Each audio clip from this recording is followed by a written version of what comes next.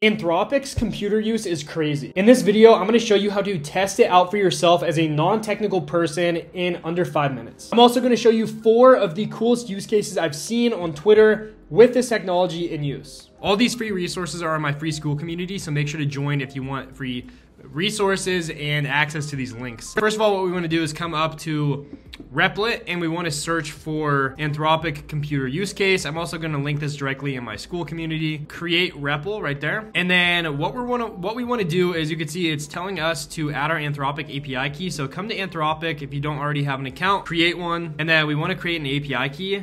Copy and paste this key. Don't copy paste that because it will not work for you. Um, I'm going to disable it. Come to secrets over here add the value in that API key there, and then literally click run, and this thing should be ready to go. so we have two tabs here. We have a web view and we have an output. So I want to drag and drop the output over here so we could see these two things working synchronistically.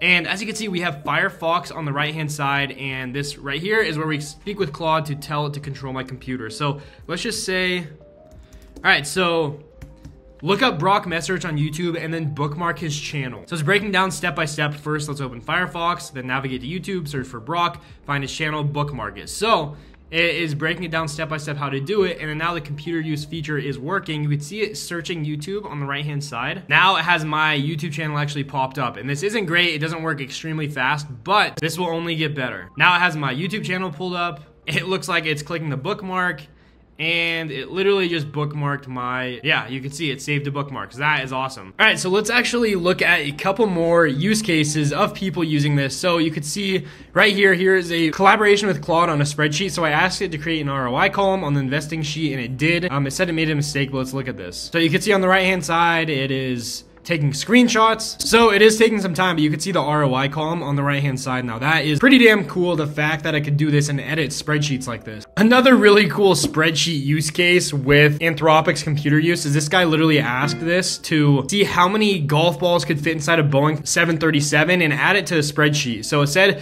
take the first three URL links and input that data and the estimates that they think inside of the spreadsheet. So let's watch this. So it's breaking down the math here. You could see it's adding the specifications it's adding the golf ball specifications, and now it's doing the math to see how many golf balls fit inside of a 737. All right, so this one's crazy. So This is Replit Agent times Anthropic, and so what they did is they actually allowed this to plug in the computer use as a human feedback replacement. So this could literally build a full app and not only write the prompts for it to build, but also check it and tell it to create different iterations and fix the bugs that it's running into. Instead of having to sit there and say, this doesn't look right, fix this for me, it literally fixes it for you. Look at this.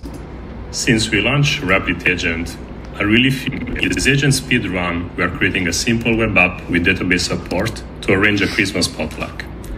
A major challenge we face in making our agent more reliable is how to test web applications It's not just a matter of writing unit tests. Our approach is to ask for user feedback and let, let the agent act upon it. But we can do better. At Replit, we have been one of the early customers of the latest Claude model. All right, so you Rather could see.